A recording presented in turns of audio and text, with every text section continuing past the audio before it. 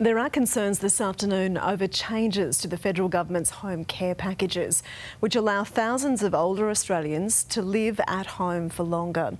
The government last month made changes to the scheme and what residents are able to claim. And for more this afternoon, we're joined by Kyra Baysnell, founder and director of Careabout in Melbourne. Kyra, thank you for your time. Break this down for us. What are the changes? Look, there's been um, quite a lot of regulatory changes in home care and in aged care homes. In home care, the biggest changes that occurred from January the 1st were to do with a cap on the prices that home care providers can charge. And this has actually been a really, really good thing for families who are wanting to remain living at home.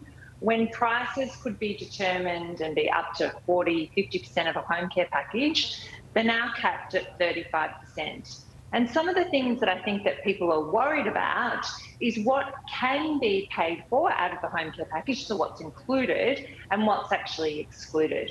Almost 75,000 people are in home care programs across New South Wales alone.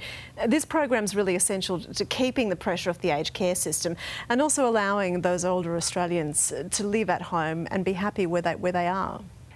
Absolutely. It's an incredibly um, important uh, part of funding in order to support people to remain living in the way that they want to live at home.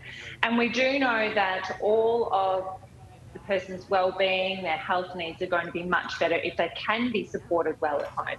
So if they are one of the lucky ones and they have got a home care package, then uh, they can actually access these services. But what people are worried about right now are the changes that came into place from the start of this year about how you can actually use those funds.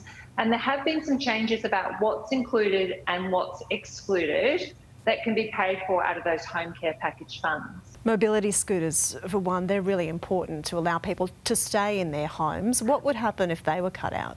Mm, look, absolutely. So at Careabout, we know we speak to thousands of people, and um, mobility scooters are essential to be able to keep people connected to their homes um, and their local communities. So mobility scooters, are, you know, are, are an important um, equipment that is used by people in um, home care. So it's unclear whether or not mobility scooters can be supported in the home care package. At the moment, we we know that they're definitely not excluded. So is there enough awareness out there about the packages that are available to allow older Australians to stay in their homes?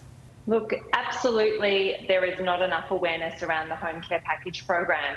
And often, when there is awareness around it, it's actually too late, and someone has no other option but to go into an aged care home. We would love uh, the government to spread the word to apply early for a home care package and to access the really generous funding that we have in Australia. Well, Kyra, thank you so much for your time and for clearing, clearing up some of the confusion. Thanks so much.